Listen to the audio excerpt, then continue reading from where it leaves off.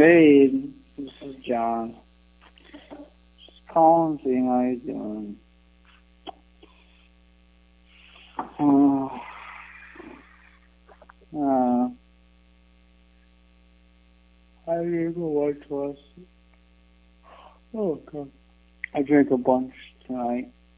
Uh, so you I'd uh, talk to you in some shape or form, so you can listen to the ramblings of me for about three minutes.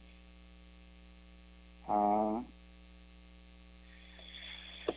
hey, uh, Liam talked to me today about, uh, oh, I think so. Um, never mind. I'll just leave it at, uh, this is just a fucking mysterious voicemail. You don't know what happened because you didn't answer it.